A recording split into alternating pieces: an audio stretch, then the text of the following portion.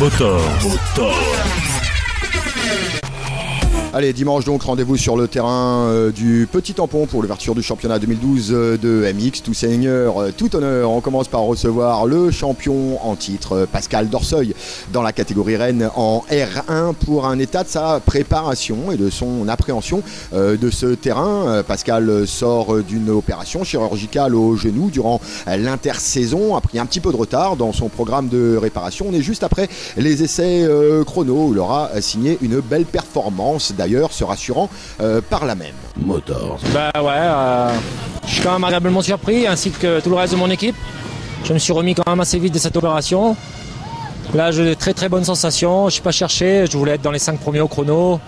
Bon, je crois que j'ai fait quand même un chrono pas trop mal, donc euh, moi je suis super content. Une course se gagne à l'année. Donc voilà quoi, c'est. Ça va être quoi là sur euh, cette première course de la saison Honnêtement, on joue la gagne? Non, essayer de se, se- se juger par rapport aux autres qui n'ont pas fait de coupure de, de la saison. Essayer de trouver le juste milieu de tout ça et à prendre les courses comme elles arrivent au feeling. Aujourd'hui c'est très piégeux, il faudra bien partir, pas faire d'erreur et ensuite on verra ce que ça donne. Quoi. T'as vu un petit peu euh, hésitant, on tourne dans l'autre sens euh, cette année sur le terrain. Il y a encore pas mal de, de réglages à trouver, d'autant que t'as pas fait les courses UFOLEP toi en début d'année. Exactement, moi c'est la troisième fois que je roule là. Les autres ils ont, ils ont des courses, mais bon c'est le même terrain que je connais. Il y a pas. Y a pas, c'est pas sorcier quoi. Le terrain est facile à prendre. Aujourd'hui il est très très piégeux. Regardez, voir où, où ils sont les pièges, plutôt que, que de regarder les autres signer le shot impérativement. Il faut vraiment partir devant parce que sinon on va vraiment galérer. Il faudrait vraiment que je trouve des solutions pour partir devant et, euh, et je pense que les autres vont vouloir faire de temps, euh, pareil. Mais bon, maintenant c'est sûr que si on part devant dans ces conditions, on a quand même, on a quand même un, un gros pourcentage de la course qui est acquis. Quoi. Dernier truc, on part sur euh, la 2011. La 2012 n'est pas encore là, contrairement à beaucoup de tes concurrents qui arborent les, les nouvelles motos. Ça change quoi? Exact, bah non, bah moi c'est une moto que je connais parfaitement de l'année dernière, qu'on a refaite à neuf et euh, ça, ça, ça va être la même histoire pour la 2012 la semaine prochaine. Celle-là elle me va très bien et bien réglée en suspension, moteur standard et euh, voilà, ça me convient super. On dit quoi Objectif podium Là, honnêtement, hein, les yeux dans les yeux, c'est podium ou victoire Podium ça me va très bien. Podium ça me va. Parmi les euh, pilotes ayant changé de monture durant l'intersaison, Stéphane Ferdinand, qui jouait aux avant-postes euh, l'an passé, passe donc de la 3,5 euh, KTM à la 450 euh, Honda. Quelques changements en perspective. On le retrouve euh, juste après les essais chrono. Motor. C'est sûr que j'ai une nouvelle machine, une 450 CRF Honda, prêtée par la Sogecor. Et c'est vrai que ça- c'est un- une motivation en plus. Quoi. Bon, ça fait une grosse différence par rapport à l'année dernière où tu étais en 3,5. Là, on a quand même plus de patates et surtout plus de couple. La, la Honda est réputée pour ça. Tout à fait, il y a beaucoup plus de coupe au niveau de la, de la cylindrée. Une 450, elle marche très fort, mais maintenant il faut essayer de la tenir, essayer de gérer un peu, un peu tout ça, quoi, toute sa puissance. Où t'en es euh, des setups, réglages euh, On va commencer par le châssis. Euh, on a un terrain particulier aujourd'hui, très gras, très lourd. Ouais, tout à fait. Bah, écoute, on a, on, a, on, a, on a bossé pas mal sur, les, sur la partie cycle. Il y avait NRV, Marc, qui m'a donné un coup de main sur le, la partie de la bécane. Euh, maintenant, c'est vrai qu'en termes de moteur, euh, on a quasiment rien à faire du fait que d'origine, elle marche très bien. Quoi. Oui, c'est que, c'est que le début, là. On est à la matinée, on a toute la journée pour, pour peaufiner tout ça. Donc, je me sens bien, la moto est bien, on verra bien. Les sensations sur euh, ce terrain, ça a donné quoi là ce matin? Euh, bah, un peu timide, hein, gras, donc du coup, je préfère attendre que le terrain sèche un peu. Mais sinon, je pense que dans la journée, ça va aller. Il faut être, euh, il faut être sur ses roues, quoi, tout simplement, rouler avec la tête, essayer de ne pas, se, pas faire d'erreur, pas, pas se blesser, bien sûr. Et euh, comme tu dis, le championnat est encore long, donc on, Trois courses au programme donc euh, de la série R1 dans le cadre du championnat de la réunion de motocross lors de chaque euh, meeting. On commence donc en toute fin de matinée pour la première course euh, R1 et les deux hommes forts de cette course clairement ont été Timo Haro et Pascal Dorseuil qui s'envolaient en tête dès le all shot, dès le premier tour. Ça a été assez confus et plutôt bousculé. On notera la belle performance de Mehdi Sinakuti qui termine quatrième alors qu'il était euh, troisième jusqu'au dernier tour. Victoire donc de Pascal Dorseuil devant euh, Timo euh, O'Haro. On commence par recevoir Pascal Dorseuil avec euh, un flot euh, d'émotions à l'arrivée. Motor. Ouais, c'est la première et Tu t'attendais à ça euh beaucoup d'émotions qui s'en vont là et non, je m'attendais pas à ça. Je voulais être bien et je prends un départ correct. J'étais derrière Timo, j'étais super bien. Mes lunettes étaient bien préparées. Et au moment où j'ai passé Timo, je savais que j'avais juste qu'à m'appliquer. J'ai pas cherché à attaquer, j'ai enroulé, j'étais super bien. J'étais. Euh... Une grosse émotion. Donc, euh, bah, je sais pas, début de saison, on revient de blessure et. Pas de la pression, mais. Voilà, on t'entend tous, même si toi tu es blessé. euh, Ils sont toujours en train de te regarder, toujours en train de te chercher. Voilà, moi je réplique comme ça. J'ai fait la poche, j'ai fait la première manche. Maintenant, je pense que la pression est libérée. Et je crois qu'on va, on va y aller. Bon, tu as vu euh, à l'issue du premier tour, Timo se retourne pour déjà te chercher sur euh, la, bosse d'appel. On pense à quoi à ce moment-là quand on voit son concurrent, celui qui est devant, qui se retourne? Bah, je sais pas pourquoi il a, voulu se retourner aussitôt. Moi, j'ai pas regardé derrière, j'ai fait ma course devant. À un moment, je pensais que j'avais fait une erreur en enlevant tous mes tirs Ouais, j'en ai enlevé deux ou trois d'un coup, j'avais peur. J'ai vu qu'il me restait un tir off, je l'ai laissé jusqu'au dernier moment derrière Timo et au moment où je l'ai passé. J'avais des lunettes propres et euh, tu vois, je finis la fin de manche avec des lunettes très propres donc voilà, c'est un tout quoi. C'est la gestion de course avec les attardés, ça s'est passé comment sur la partie Très bien, j'ai gueulé, j'ai gueulé avant d'arriver sur eux, pas méchamment, mais pour me faire entendre. À l'unanimité, ça s'est très très bien passé.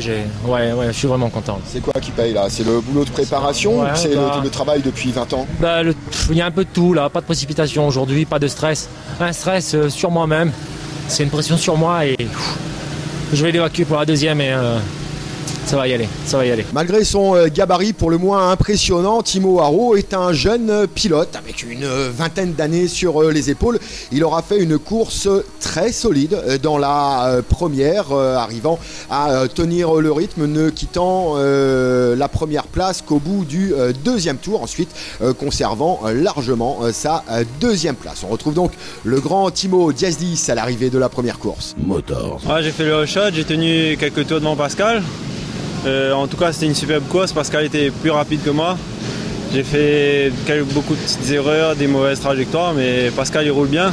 Ça va être dur de le battre encore cette année, je pense. Hein. Bon, par contre, euh, ce qu'il y a de positif, c'est que l'écart est clairement fait par rapport au suivant. Hein. Euh, ouais. Là, j'ai vu le petit jeune Sinakuti qui, tenait très bien. Franchement, il y a félicitations parce que c'est sa première année, je crois. Pas mal. Bon, en ce qui te concerne, moi j'étais vachement étonné de te voir euh, te retourner sur le premier tour, sur la bosse, tu te retournes pour chercher Pascal, pourquoi? Euh, moi, je croyais qu'il était juste derrière moi, je croyais qu'il allait me couper. Donc euh, je me suis assuré qu'il n'était pas là pour que je prenne ma trace. Et voilà. Bon, pour le reste, tu commences à récupérer tes fondamentaux avec la nouvelle moto, ça se passe comment là? Bah Là, ma moto n'est pas encore mise au point. J'ai pas encore eu toutes les pièces. Et donc je pense que la prochaine course, ça sera mieux. Au niveau des réglages, t'es comment châssis? Euh, les châssis, c'est préparé par un Hervé Racing. Ils sont là, ils sont très bien. Il manque encore une petite finition, je pense, et ça va. Finition pour adapter aux conditions grasses d'aujourd'hui ou finition globalement pour ton ressenti euh, Finition pour les conditions d'aujourd'hui, parce que c'est un terrain quand même très gras là aujourd'hui qu'on a. Et voilà. Un poil trop dur là Un petit poil trop dur, mais bras quand même à la fin, ça a commencé. Hein. Bon bah heureusement que ça dure que 20 minutes maintenant en élite. Justement.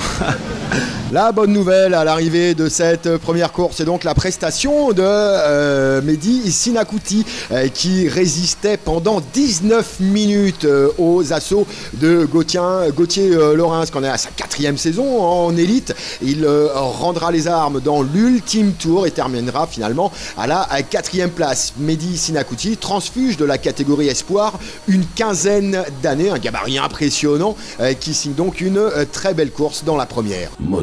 Ben, j'ai essayé de faire mon mieux. Il y a mon pied qui est derrière moi à fond, je fais mon physique et j'ai décidé d'être euh, en pleine forme pour cette année. Ben, j'ai pas eu de chance, mais je vais essayer de faire mieux pour la prochaine manche. Bon, tu as pris clairement de la caisse hein, depuis l'année dernière, hein. ça a bossé dans l'intersaison là. Ouais, ben, comme je vous ai dit, j'ai fait mon physique, j'ai fait un peu de muscu, je parti courir, faire du vélo. Il y a mon, mon, mon beau-frère qui est entraîneur, il m'entraîne un peu. Et voilà. Bon, en ce qui concerne euh, la moto, euh, tu évolues sur quelle version là? Sur une 3,5 KTM d'origine. C'est étonnant, euh, parce que ça a un poil moins de coupe que les grosses 450 en, 3,5. Comment t'expliques ça? C'est ta connaissance du terrain Tu connais chaque trace? Non, ben, je mets les gaz et j'essaye avec mon mental d'être devant. Bon, à la régulière, tu pensais pouvoir le tenir, Gauthier Laurens, pendant 19 minutes, il t'a collé au basque sans passer jusqu'à ce que ça se passe pas bien en bas ben je sais pas, ben, c'est à lui de voir s'il pouvait me doubler, mais il a décidé de me percuter, ben la prochaine fois on verra bien. Ben, j'espère que je, pourrai être devant lui, je dis pas que je suis devant lui, mais j'espère. Si t'es derrière, ça se passe comment? Ben il faut que j'essaye de le doubler. La deuxième course est emportée par euh, Gauthier euh, Laurens devant euh, Pascal Dorseuil qui pointait en tête durant le, premier tiers de course avant de devoir rétrograder. En tout cas, belle course à noter toutefois Milien O'Haro qui chutait plutôt lourdement sur cette course. On retrouve Milien O'Haro habitué des all shots les années passées. Il en restera là à l'arrivée de la deuxième. Patatras, son week-end en reste là sans doute une bonne partie de la saison. Motor. Première course déjà, tu te blesses, euh, tu tombes, tu te blesses euh, réellement, c'était un peu sonné. Ouais, ouais, bah, je me suis fait un œil au noir là, et puis euh, après j'ai pu remonter quand même. Mais là, la deuxième, Mehdi arrivait trop fort, il m'a tapé dedans, et puis du coup j'ai pu remonter et refinir la manche. Mais là, quand j'ai quand arrêté la moto, douleur être trop forte quoi. Bon, ça veut dire quoi là On va être bloqué combien de temps? C'est un mois et demi? Ouais, au minimum. Malheureusement. Ça permet de te reconcentrer sur euh, les études et la fête, ça hein oh, Non, surtout pas de fête, là. Avoir mes copains s'entraîner, moi faire la fête, non, non. Le cœur sera pas là. Dans la troisième course, c'est un Timo Haro ô combien solide qui enlève euh, la mise. Il euh, termine très solide, Timo Haro, qui s'impose donc avec euh, bah, une victoire pour lui sur l'ensemble du week-end. Finalement, il ne sera passé à travers que lors de la deuxième course. Motor. Timo, t'es parti chez le kiné là, entre la deuxième et la troisième? T'avais mal au bras sur la deuxième? J'ai eu un petit massage par les copains, donc ça allait mieux là. Les bras, ça allait mieux. Bon, c'était un peu le yo-yo, ça n'a pas été simple hein, sur cette troisième course. Euh, ouais, il y a Pascal, il y a eu Gauthier qui remontait, Guillaume. Ça a été difficile à gérer. En plus, ils étaient un petit peu plus rapides que moi. C'était vraiment dur. Fallait jouer malin. On a travaillé sur la bécane entre la deuxième et la troisième ou t'étais pareil? Euh, Non, du tout. C'est le petit massage qui a fait tout en C'est qui le copain en question? Là, là, Sébastien. Bon, c'est un bon week-end globalement pour une reprise pour toi là? Ouais, très bon week-end. On commence bien l'année et j'espère que ça va aller de mieux en mieux. Après avoir euh, dépassé euh, Timo Ouaro, Pascal euh, Dorseuil, qui était parti juste dans ses roues, finalement aura commis une petite faute en cours de troisième course. On va y revenir avec lui. Il termine toutefois à la troisième place, qui lui permet d'engranger évidemment de précieux points. Il arrive à égalité de points avec Gauthier Lorrain, 67 points partout à l'issue du premier week-end, 65 pour Timo. On dire que globalement, c'est un week-end satisfaisant pour le toujours convalescent Pascal Dorseuil. Motor. Non, mais euh, bon, je suis resté derrière Timo, j'ai doublé deux fois, il est revenu au contact. C'était assez chaud, j'avais plus de tir-off. Et au moment où je double, j'ai hésité à enlever mes lunettes dans un passage très technique, j'aurais pas dû le faire. Et au moment où, je, où c'est trop tard, je veux reprendre, je suis arrivé trop haut dans le virage, je glisse bêtement, non, euh, bêtement. Mais sincèrement, je pense pas que j'aurais pu tenir la manche. J'avais pas d'avant-bras avec la chute de Gauthier en première manche. Là, je te jure, j'ai pas de force. Donc euh, là, la, la coach, je pouvais même plus l'enquiller. Donc euh, c'est même pas la peine. Bon, l'objectif initial, c'était euh, podium. C'est un week-end globalement satisfaisant. Ça fait quoi Ça fait un. Premier, premier ex avec Gauthier. Des gars qui n'ont pas arrêté l'entraînement, qui n'ont pas arrêté des courses.